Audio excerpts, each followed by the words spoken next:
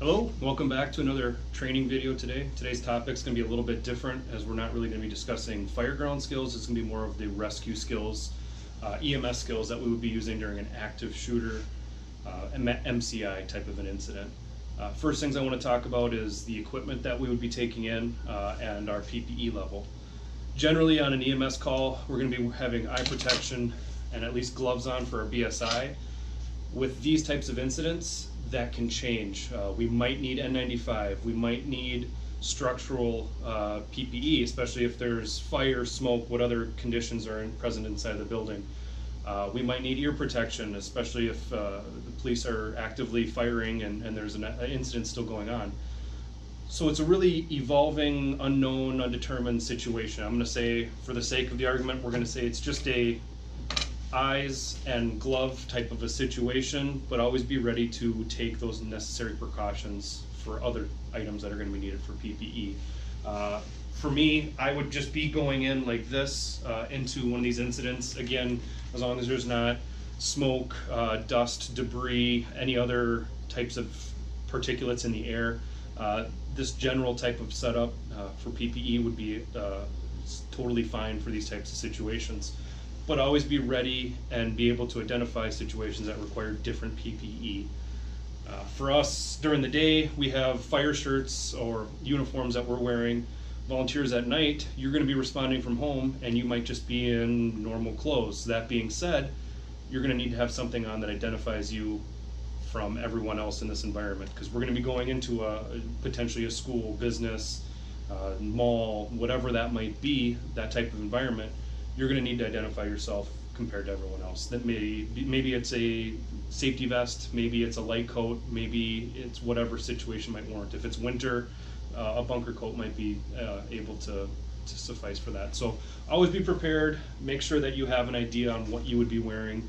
Uh, if if you can throw a T-shirt in your locker, uh, just so you have something on uh, in your disposal to be ready for these types of situations that you can throw on and identify yourself on these scenes. Uh, the equipment that we're going to take in, just a quick review on our casualty response kit. This one was pulled directly from Central, so it hasn't been completely gone through, but you can see the, the tourniquets that are on here still have plastic wrap. Uh, I would suggest taking the plastic wrap off. You could imagine having your gloves on, uh, blood, sweat, whatever else, and then trying to open these up uh, not great, not ideal. So we want to be able to be as quick and rapid as we can be. So make sure that the plastic wrap is off of all of your equipment, that everything is ready to go. Uh, just a couple more things that are in here. You do have scissors, gloves. One thing that I've added is a carabiner, and we'll kind of talk about why I've added that in a little bit here. You do have a mega mover. We do have some trauma dressings and a couple more tourniquets inside along with some triage sheets, some wrap, and then we do have some more compressed gauze in here as well. So always a good idea to go through, look and see what you have available to you in this kit, understand where it's located, understand when you would use what pieces. Uh, a couple more things that we do have some N95s, and we also have some, some chest. For this next portion, what we're going to do is we're going to cover how we actually assess and evaluate a patient that we're going to come across. So upon entry, again, there's a hundred different ways that this could play out, but typically what's going to happen is you and your partner will be paired up with probably two police officers as a security detail, uh, and you're going to be the rescue team. So you've identified your security force that's going to get you in and follow you around and protect you throughout that warm zone that you're going to be operating in. You and your partner are going to be directed uh, as part of the hall boss is going to tell you where that patient is and where to start clearing people. So you're going to be directed to this is your patient from the hall boss. You and your partner get there, and the first thing you're going to want to do is start assessing the patient. This is not a, a long triage. This is a very quick down and dirty. We need to remove people from this environment, get them out to the triage center outside. So I'm just assessing this patient. Is this a viable patient to take out and start triaging? Uh, if they're uh, a green, you know, the walking wounded, uh, they can walk out on their own. So that doesn't mean I run in, me and my partner, and we find somebody that can walk out on their own and we walk out with them. We can find the next patient and that patient can walk out with us while we drag this other patient out. So just always be thinking about what needs to happen and, and where you need to be going and how many people that we can get out effectively and efficiently. So I, I come across our first patient. First thing we're gonna do is gonna be checking for breathing, bleeding, uh, just assessing them. Big, big, big thing to do is actually get hands on. We need to do sweeps. So the first thing that we're gonna start doing is just start sweeping. You and your partner are gonna be doing this, literally kind of clawing at the patient. And we wanna just kind of feel and see if we're getting any blood. Uh, and when we sweep with our hands, we wanna kind of do this with our hands once we touch them, because we wanna see, am I feeling that kind of that soapiness that blood would actually be on your hands. Because if we're in a blacked out environment, we're not able to see very well, we're gonna need to be able to feel it. So I was just kind of doing one of these sweeps, feeling, going to the next. And it's super important to get this, this uh, check to see if we're finding any bleeding, we're finding any broken arms, uh, parts of the body, uh, cuts, wound shot, or gunshots, anything like that. But also, as we're feeling, all of a sudden we might feel something that's suspicious, so what you want to do is pin it to the person because I found something right here that just seems not right. Pin it to the person. I look and it is a gun. So what I do is I just hold it up against that person with all my weight. You you need to lay on them, whatever it is that you need to do to keep that there. This is a patient that's unconscious, but if they're awake, poses different issues. But we want to pin that to them, let our security detail know once the security detail that is with us knows and they're able to help us secure this weapon, we're able to get it away from them. We don't know if this person's good, bad, what. They're just an unconscious person with a weapon on them. Our safety, our security detail, the safety of everything needs to be considered as to what the overall scene looks like. So we need to pin those, secure them, get them off that patient. We can't have patients going into triage with weapons on them. We need to ensure that they've been cleared, We've assessed them, and we're only pulling out patients that aren't going to be posing any threats to anybody else. In these scenes, we don't know who the good person is or who the bad person is. So we need to make sure that we're doing a very good job of doing those assessments. So as we're assessing, we might roll them over, do a quick assessment on the back, up in the crotch and the groin area, just to see any of those areas that bleeding is going to be a big problem. If we have bleeds or uh, big wounds on arms, we can do is take a tourniquet.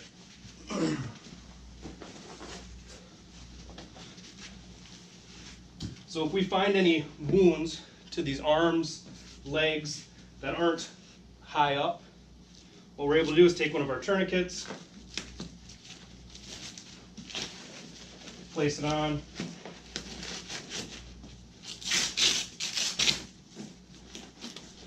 Always making sure that we have the windlass turned out so we can still use it.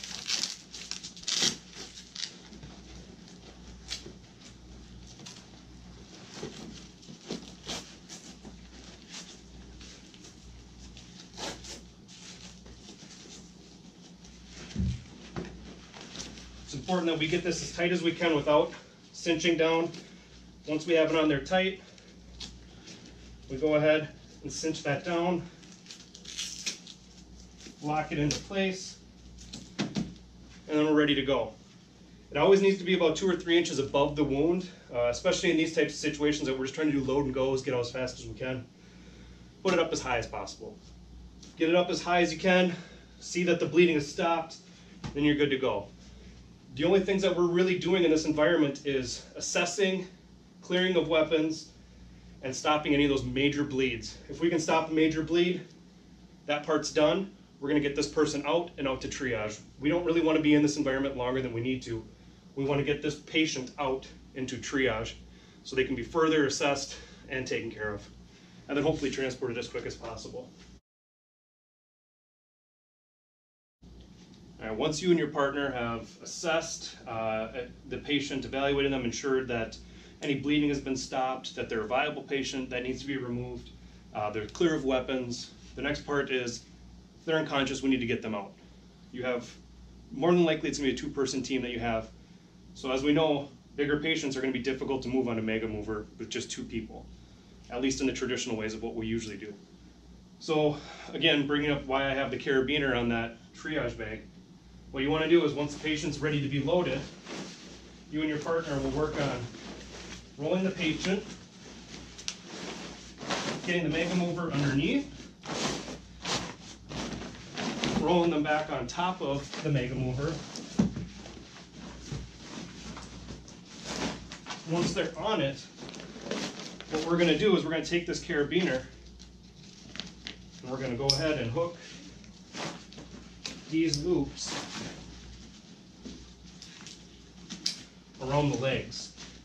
And what we're doing is we're almost making like a carrying strap that's gonna go ahead and cinch down around the waist of this person. So as we go ahead and we lift them, you and your partner both are up here and we start dragging, they're not gonna slide off the end of this.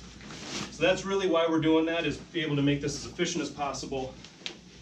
Lock them in with that carabiner. They're not gonna slide off the back. And then you and your partner, just gonna drag your patient right out to triage.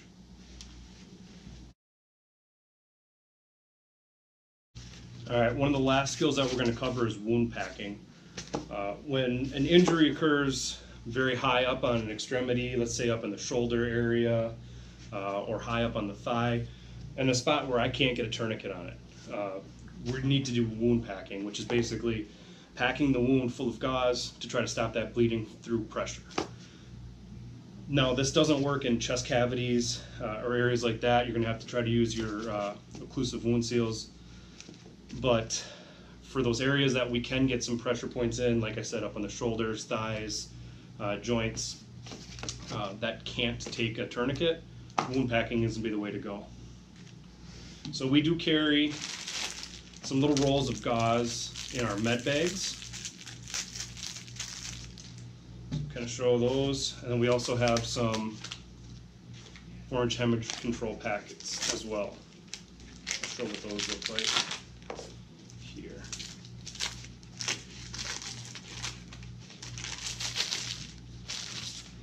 So this is the material that we have available to us.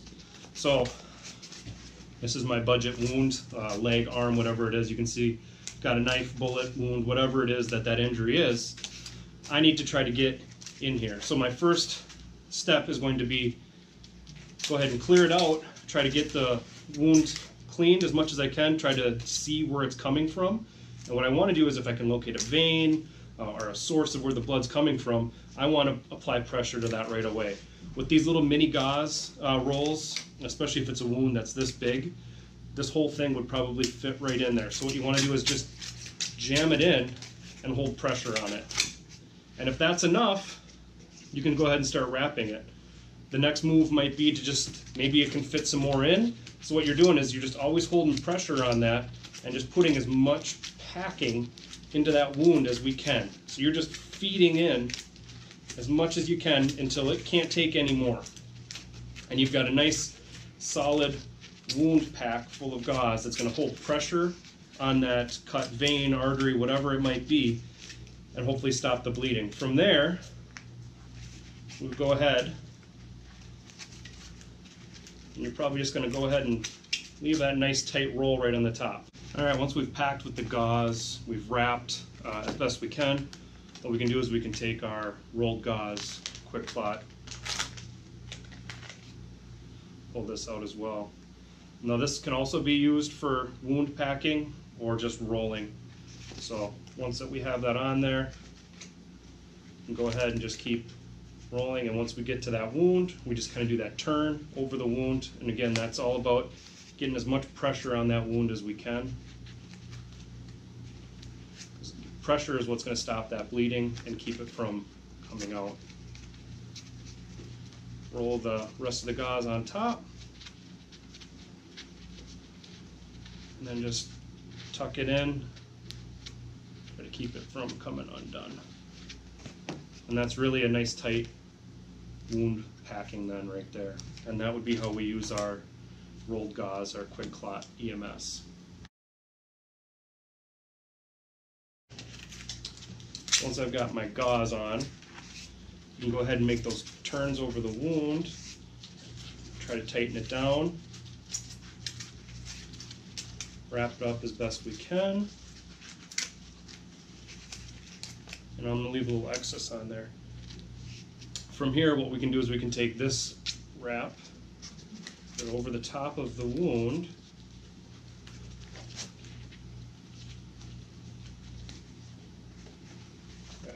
Through, tighten it down. We want it tight as it can be. And then you're just gonna go ahead and keep wrapping and unrolling as we go. You can put turns over it as well, and that's just gonna help really cinch it down in that spot right there.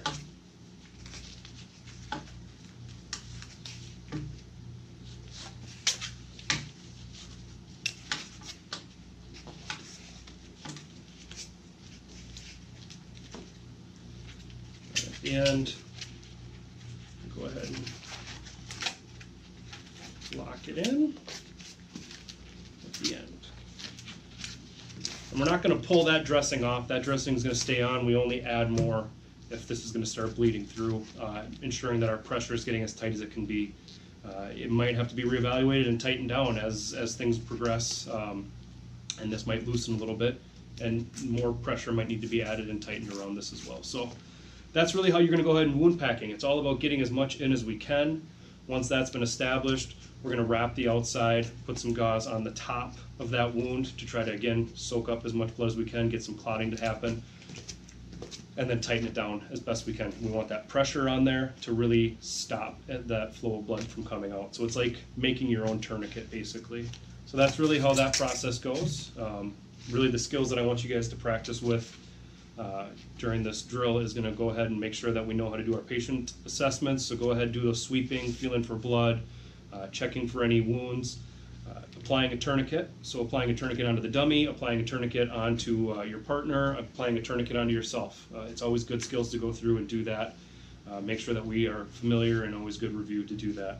And then lastly, go ahead, uh, excuse me, do the patient packaging on the Mega Mover, work on dragging them around with your partner, uh, using that carabiner to kind of make that diaper wrap around their legs. Uh, and then lastly, going ahead and, and do some wound packing on some of the cheap little pool rolls that I have for you using your little mini rolls of gauze that will be available to you at your stations. So thank you. Hope you enjoyed. Have a great day.